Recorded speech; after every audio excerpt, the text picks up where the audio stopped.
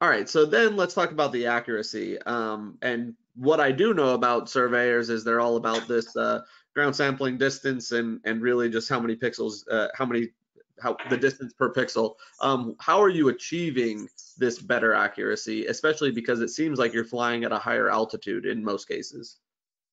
Yeah, so the you know it comes down to the resolution of the camera and you know, the higher the resolution, the higher the accuracy. With our 42 megapixel uh, sensor, it's extremely accurate. And we could adjust the different flight heights uh, if you want to increase the or decrease the ground sampling distance. What's nice about the project planning software is you enter in what you want the ground sampling distance to be, and it will tell you what what the flight will be like what the height is. So you don't have to do any like conversions or things like that. Like it will like set that up for you.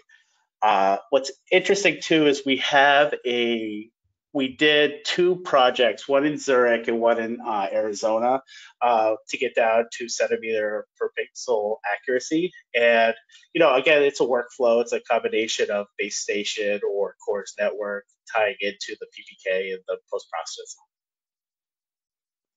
Yeah, and so uh, we're going to talk a little bit about payloads. Maybe it's shortly. This came up, and and I collected this from your from your uh, materials that you have. And is, can you talk about like the the number of points that are collected it, versus the traditional uh, GLONASS GNSS survey, whatever? Uh, what what is this saying? I mean, what is this talking about drones in general, or is this particular to Wingtra as far as gathering this number of points? Uh, this is similar to uh, in drones in particular. They're collecting another uh, significant amount of data points. Uh, I think where it comes along is the difference between uh, like lidar versus photogrammetry, and you look at the different like data points in that. You know, with uh, photogrammetry, uh, you are able to, you know, collect per like square meter, you know, something like 20,000 points of reference.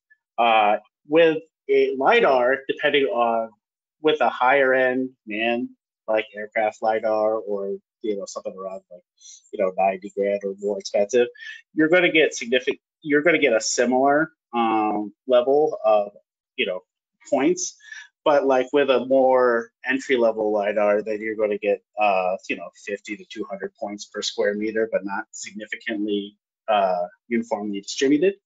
Uh, but also you know that takes into account like is there vegetation? What's in the area? What you're looking for?